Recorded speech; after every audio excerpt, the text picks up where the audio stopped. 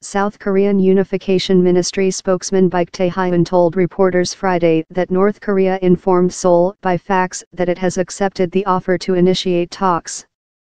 The person-to-person -person talks will be held Tuesday, the day after North Korean leader Kim Jong-un's birthday, at the Peace House in the village of Panmunjom in the demilitarized zone, Baik said. The two sides agreed to work on the details of the talks through the exchange of documents, Baik said, adding that agenda items will be issues related to improving inter-Korean relationships, including the Pyeongchang Olympic Games.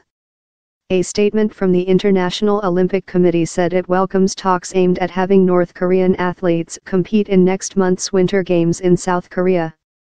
The IOC said it was continuing discussions with the North Korean National Olympic Committee and keeping its invitation open for a delegation. Two North Korean athletes, figure skaters Ryom Tae-ok and Kim Joo-sik, have qualified for the Games. While Pyongyang has missed a registration deadline for the two, the IOC could allow an exception to be made. The faxed message accepting the long-standing offer of talks was from Ri Son-gwon, chairman of the North Korean Committee for the Peaceful Reunification of the Fatherland. It was addressed to South Korean Unification Minister Cho Myoung-gyon, Baik said. Baik said the decision of who would attend the meetings was still being finalized. The last such high-level talk was a deputy ministerial meeting in December 2015 at the jointly run Kaesong Industrial Complex in North Korea. The complex, which opened in 2004 in a rare show of cooperation between the two Koreas, was shuttered last year as Pyongyang ramped up its missile and nuclear testing. Possible thaw the announcement of talks comes on the heels of other signs of rapprochement between the two rivals. In what's widely regarded as a diplomatic breakthrough, a hotline between Seoul and Pyongyang rang again in recent days after going unused for two years. At least five calls have been placed through the cross-border channel since then, according to the South Korean Unification Ministry. Contact between the countries has resumed since the North Korean leader expressed hope during his New Year's Day address that a North Korean delegation might participate in the Winter Games. Kim also expressed a desire for a peaceful resolution to the decades-old conflict with South Korea. The Korean War ended in an armistice in 1953, meaning the two nations technically have been at war since then. South Korean President Moon Jae-in told News Total last year that North Korean participation in the Pyeongchang Olympics would provide a very good opportunity for inter-Korean peace and reconciliation. Russia to U.S. Don't undermine talks A top Russian official welcomed the restoration of communication and urged the United States to avoid making threatening statements that could undermine talks. We are pleased to note the readiness of Seoul and Pyongyang to have direct contacts, Deputy Foreign Minister Sergei Ryabkov said Friday, according to Russian state-run news agency TASS.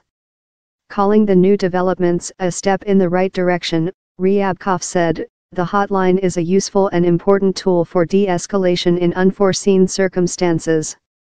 He said Russia will work with all players to help improve the state of affairs on the Korean peninsula. In this situation, other participants in this drama should be extremely cautious, balanced and restrained in statements and assessments so as not to undermine such a fragile chance for some more or less stable political process, he said. Accordingly, statements of a threatening nature, signals, even if not from officials but from politicians, still have an impact on the situation. Stronger hand The advanced stage of North Korea's weapons program could afford its leadership the luxury of diplomacy, said Tong Zhao, a North Korea analyst and fellow at the Carnegie Tsinghua Center for Global Policy. I think Kim Jong-un is now, in, a different position after the Hwasong 15, long-range missile, testing. At a minimum, North Korea has achieved a rudimentary strategic deterrent and can afford to not continue testing. North Korea apparently has plans to mass-produce missiles and nuclear warheads but could, now, consider a moratorium on ICBM, intercontinental ballistic missile, tests. Zhao said he views the resumption of talks as a positive sign and considers next week's meeting to be a first step in improving bilateral relations. After Kim Jong-un made the overture in his New Year address, the two sides quickly resumed the hotline and agreed to meet, the pace of development is very quick, he said. There is an indication that North Korea wants to explore broader issues. I expect they will engage in other issues as well, at the talks. It's hard to tell how quickly they will settle the Olympic issue, but it's clear that both sides want to go further with these talks. Differing reaction A similar sense of optimism has yet to extend beyond the Korean peninsula. On Thursday, Japanese Prime Minister Shinzo Abe called North Korea's nuclearization absolutely unacceptable and said his country's security situation was the most severe since World War II. U.S. officials have so far maintained a similarly skeptical stance regarding Kim's sincerity in soothing tensions. Speaking Tuesday, Nikki Haley, the U.S. ambassador to the United Nations, issued a stern warning to North Korea, saying Washington will never accept a nuclear North Korea. However, the hardline U.S. stance may be softening in light of recent developments. In a phone call Thursday, President Donald Trump and Moon agreed not to host joint military drills during the period of the Pyeongchang Olympics, according to a South Korean government statement. A senior U.S. military official also confirmed to News Total there would be no joint exercises during the Games.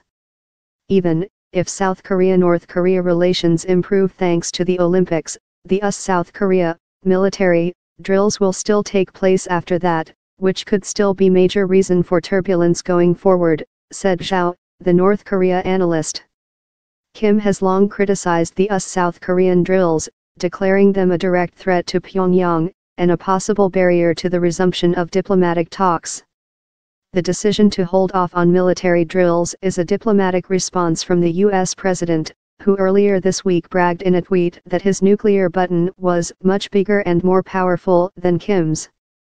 Trump has since sought to take credit for the resumption of communications between Pyongyang and Seoul. With all of the failed experts weighing in, does anybody really believe that talks and dialogue would be going on between North and South Korea right now if I wasn't firm, strong and willing to commit our total might against the North, Trump tweeted Thursday morning. Fools, but talks are a good thing, he added.